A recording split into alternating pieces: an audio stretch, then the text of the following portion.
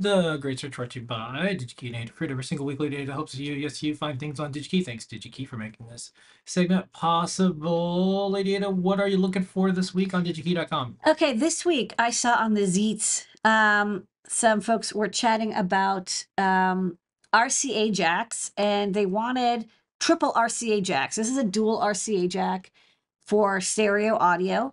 Uh, and RCA is still a very popular connector. It's really basic, but it works really well, kind of foolproof. Uh, there's color coding, you know, and then you can match it up to um, the cables. So like, you know, this is an example. The cable has the yellow and red and white coloring that lets you know that this is video and then left and right. Although I don't, I never remember, maybe red is right and white is left. I don't remember. Maybe it's the other way. Stereo audio, um, oh yeah, R is R is red. Uh, so that's a good way to remember. Right is red and left is white. And uh, this is uh, NTSC or PAL uh, component video, composite video. Um, but some people are like, oh, I want to have something for component video, which I always mix up. Component video is not the same as composite. Composite is one where all the sync and all the color data is on one wire. Um, and it uses like color bursts and like a you know, extremely amazing, complicated, um, and slightly uh, lower quality way of transmitting audio uh, video. But if you want better quality video, and this was in particular for retro computing, a lot of uh, video game systems before they had HDMI, to get good quality, you could maybe have component. Uh, and component, even though it says RGB, it's not necessarily red, green, blue. This is actually um, Y, PB, and PR, which are the Sync and Luma for um, a better quality HD video, but it's still like on an analog um, style uh, connector.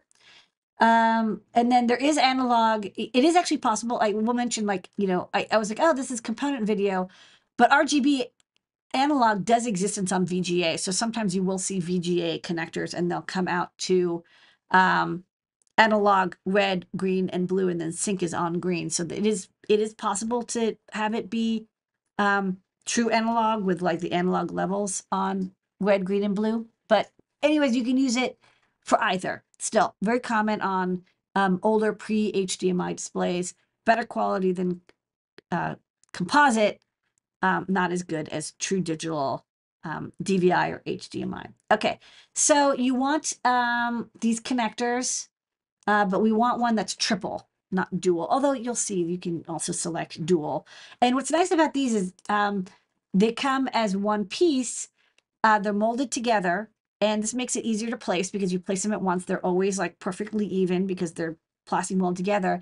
And also, um, these plugs take a lot of strain. Like it's very easy to like wedge them and pull them um, and uh, twist them, not twist, but uh, torque them and so having a lot of mechanical strength is good and having all three connected together on a plastic piece not only looks good because of evenness, but will give you more mechanical strength because you can have a mounting tab, for example, um, or each of the, you know, each one has two um, con contacts, the ground circle and the data or analog signal center.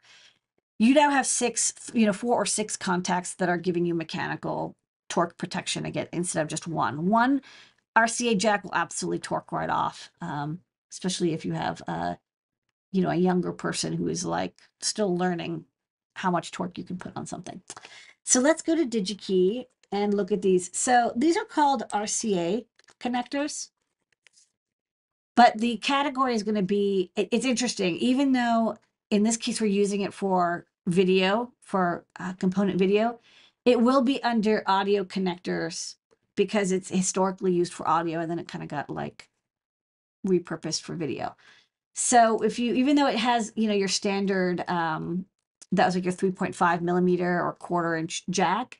Uh, if you go here, you'll see that it is in fact RCA connectors. So there's a bunch of different configurations. Again, these are very old connectors and they're very common.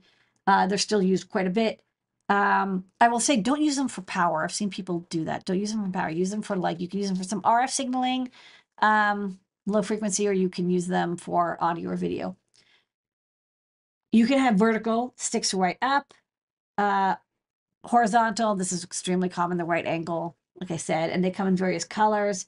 Uh, this one is nice, has a plastic protector. You'll see there's the two nubs in the front um, that will sink into the PCB and give you mechanical strength. Uh, this has, you know, three big contacts you would solder in instead. And then you do get into the, um, you know, multi, multi-pack style. So this is stereo, left and right, but vertical. Uh, dual stereo, left and right, but, you know, input and output maybe, two channels. Um, and then of various colors. Yellow is common, blue, I guess for RGB or for that um, composite. White is common, black. You'll see like, you know, black, white, red, yellow, green, and blue. I've seen like some other colors once in a while. You're not going to get pink, unfortunately. So what we're going to look for is um, triple with red, green, blue coloring. So first off, let's only look for active.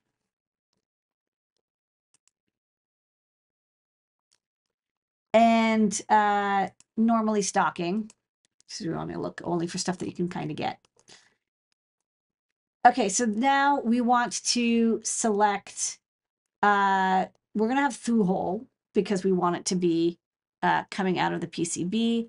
And we want, um, let's say right angle, you know, coming out to the side.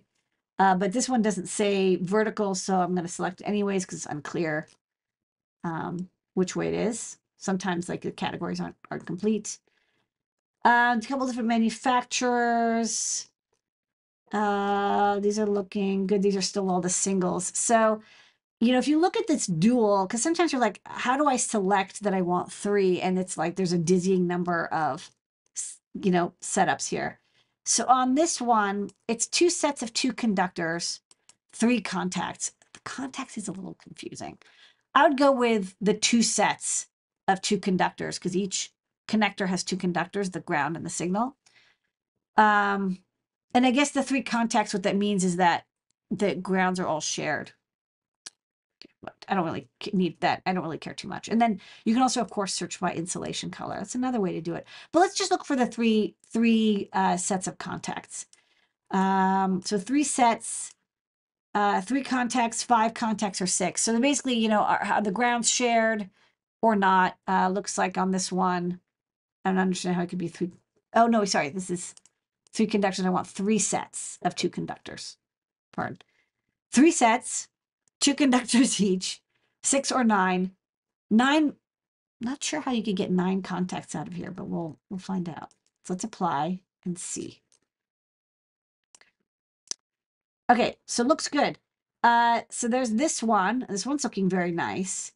Uh, I wonder which one has nine. This one has nine. I guess we'll see what's up with this one.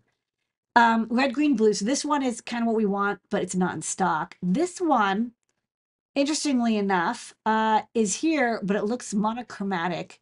Um, so let's click because sometimes there's multiple photos and we can see what's up here. Let's go to the 360 and wait for it's loaded. Okay, so this one is uh, red, green, blue, and we can see.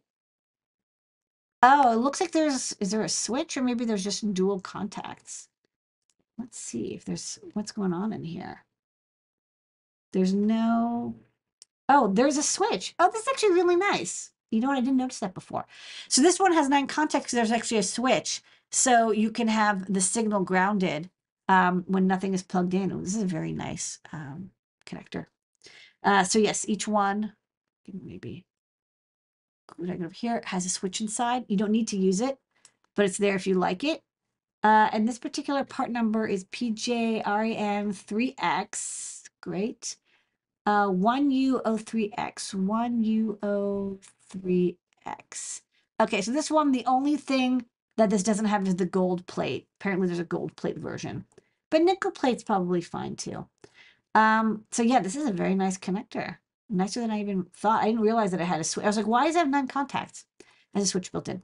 So this one, this is going to be really nice. This will de- definitely do the job no matter what. And I like that you can ground the inputs when they're not connected. uh, give your analog input stage a break. So this is my pick from Switchcraft.